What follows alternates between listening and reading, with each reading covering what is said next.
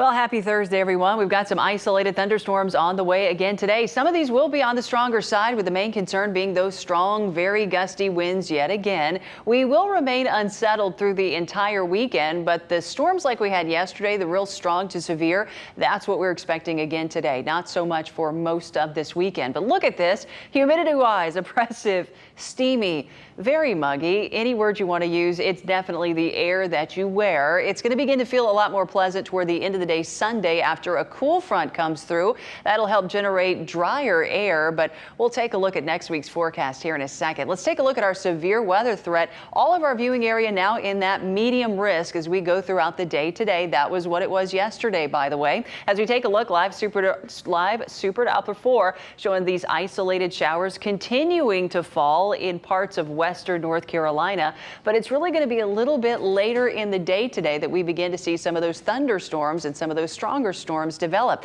What's happening is our temperatures are heating up. We're going back in the mid 90s across the upstate today with a feels like of 100 to 105 for many of us. So that heat and humidity acting as fuel or gasoline in the atmosphere. And once these thunderstorms begin to ignite, here they come with some pretty strong downpours, some lightning, and yes, the possibility of some strong winds of 40, 50, possibly 60 miles per hour. Some of these will linger till 8 or 9 o'clock, especially in our southern counties.